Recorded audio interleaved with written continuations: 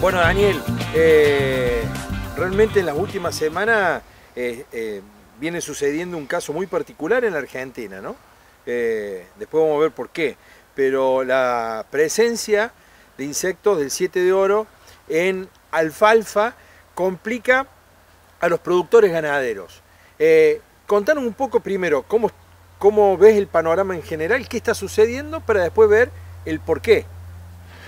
Bueno, Sí, a ver, lo, primero, digamos, es, eh, hay ya bastantes evidencias en distintas partes del país, por lo tanto, no se puede negar el problema, que el problema existe, existe. Eh, en segundo lugar, que está relacionado con el 7 de oro, también es absolutamente cierto. Entonces, las preguntas que surgen son, ¿por qué pasa ahora si el 7 de oro siempre estuvo en, en los lotes de alfalfa en Argentina? ¿Y por qué en algunos lotes este, algunos animales son afectados y otros no, dentro del, mismo lote. Entonces, eh, es bastante difícil eh, decir con certeza qué es lo que pasó, pero sí se pueden hacer algunas hipótesis al respecto. Primero, existen antecedentes de que esto ya ocurrió. En el año 1970 eh, hay publicaciones donde refieren que lo mismo que está ocurriendo acá ocurrió en Sudáfrica se estudió el tema y se publicaron los resultados cuando se hicieron eh, extractos con el 7 de oro, el mismo 7 de oro nuestro, se hicieron extractos del 7 de oro en distintas concentraciones y se mm, trataron animales por sonda gástrica con, con distintas concentraciones de jugos de 7 de oro. La respuesta fue variable. Es decir, aquellos que tuvieron las dosis menores no tuvieron tantos problemas, en cambio, los que tuvieron las concentraciones mayores sufrieron lesiones muy parecidas a las que se refieren ahora gástricas en, ovejas. Eh, también se probaron con roedores, pero en monogástricos no causó la misma, el mismo efecto. Eh, por lo tanto, digamos, la primera cuestión es, hay antecedentes y sabemos que el 7 de oro puede ser causal. Sabemos por este mismo trabajo que se hicieron estudios cromatográficos que no se trata de la cantaridina, a la cual se sospechaba en, primer término que podría ser, sino que es de otro tóxico desconocido. Pero tenemos estas dos referencias importantes. Hay un tóxico en, dentro del 7 de oro y puede causar lesiones intestinales.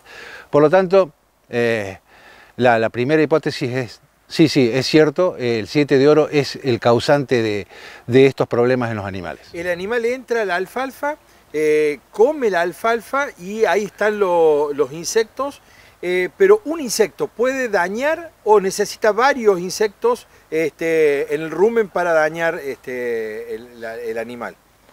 Es muy buena la, pregunta porque creo que por ahí viene la, explicación.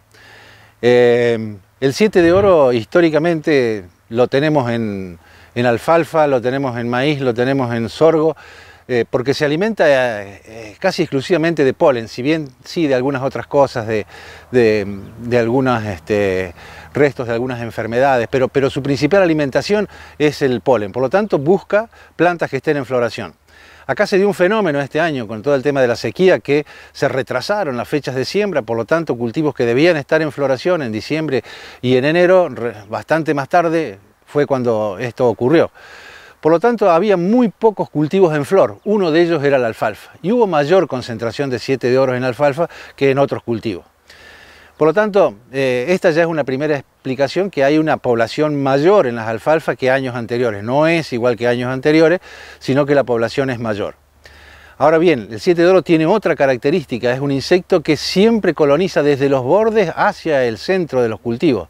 Siempre, tanto en sorgo como en maíz como en alfalfa, hemos encontrado en monitoreos mayor densidad en los bordes de los lotes, en todas las borduras, que en el interior.